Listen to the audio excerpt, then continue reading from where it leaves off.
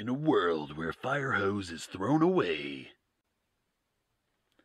Hose to Habitat is an organization that connects fire departments, fire safety companies, and other sources of surplus fire hose with zoos and animal sanctuaries that use the fire hose for animal habitat enrichment for endangered species.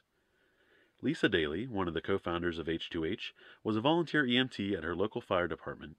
She noticed a dumpster full of fire hose and asked if it was going to be thrown out.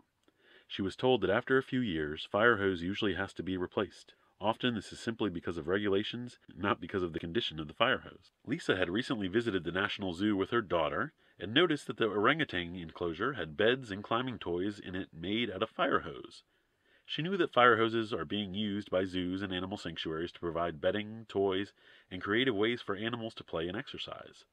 Zookeepers found that fire hose was tough and durable and could be used to provide new ways for the animals to be engaged in their environment and improved their quality of life.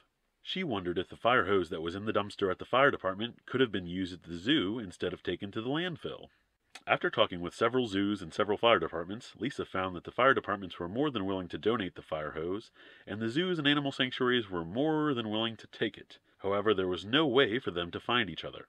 Not wanting to reinvent the wheel, Lisa contacted the Association of Zoos and Aquariums to see if there was already an organization doing this. As far as they knew, there was no organization providing this service, and they would welcome having an organization that could help provide donations of surplus fire hose to zoos and animal sanctuaries.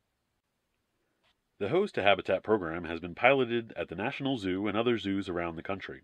Ready to take this to the next level, founders Tony Slamman and Lisa Daly are launching a campaign to gather like minded, animal loving, upcycling cohorts to join them in taking Hose to Habitat to the next level.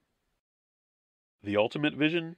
Growing into an international organization to help zoos and animal sanctuaries fulfill their wish lists through community support and involvement. This is only the beginning.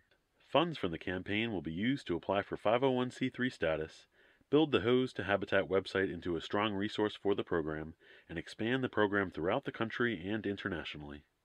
Perks include original backer t shirts and unique experiences with the founders.